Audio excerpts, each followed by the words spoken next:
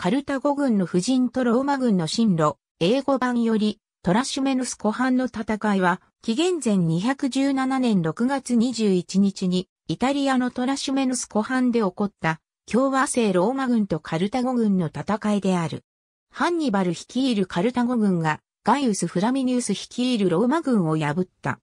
ティキヌスの戦い、トレビアの戦いと連敗を重ねた、ローマの元老院は、紀元前217年、執政官にガイウス・フラミニウス、グナイウス・セルウイリウス・ゲミヌスの両名を選出し、新たに4個、軍団5万名を動員した。ハンニバルの南下経路が予想できなかったため、両執政官は、それぞれ2個、軍団2万5千名を率い、セルウイリウスはアレミヌムへ、フラミニウスはアレテュームへ向かった。カルタゴ軍はアペニン山脈を越えてフロレンティアに到着し、ペルシアへ向けて南下した。カルタゴ軍の動きを察知したフラミニウスは、セルウイリウスへ合流の要請を出すとともに、アレテュームを出陣して、カルタゴ軍を追った。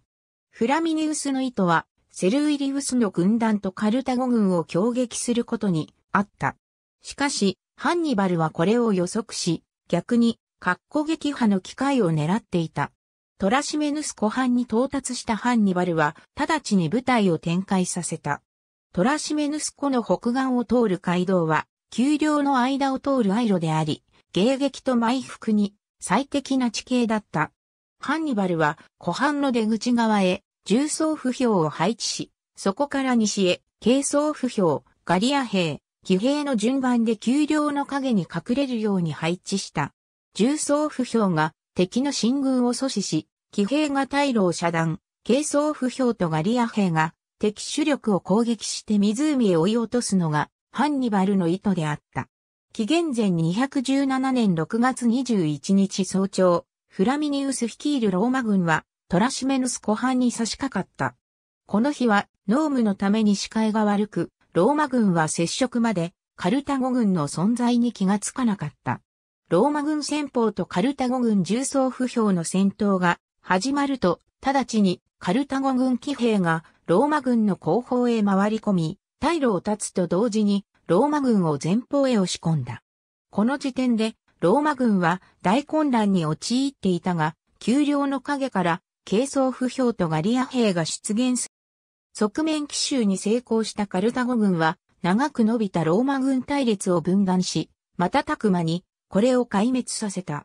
ローマ軍の前衛がカルタゴ軍重装不評の戦列を突破したが、逃亡できたのは6000名に過ぎなかった。戦闘は3時間で終了した。この戦いにおけるローマ軍の死者は1万5000名を超え、指揮官のフラミニウスも戦死した。一度は逃亡に成功した者たちも、カルタゴ軍の追撃によって大半が降伏に追い込まれた。一方のカルタゴ軍の損害は1500名から2000名程度であった。この敗戦はローマに大きな衝撃を与えた。元老院は非常手段としてファビウス・マクシムスを独裁官とし、事態に対処させることとした。ファビウス・マクシムスは巧妙な軌道によってハンニバルとの決戦を避け、相手の消耗を待つ持久作戦へシフトした。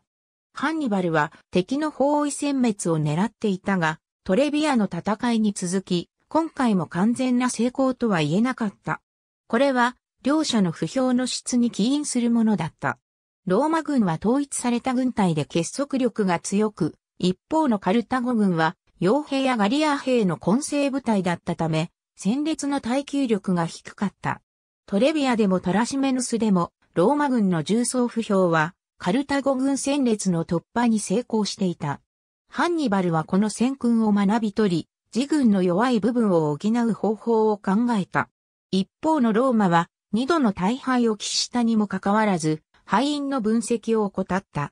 この両者の姿勢の差が次の関内の戦いで明白な結果となって現れることとなる。ありがとうございます。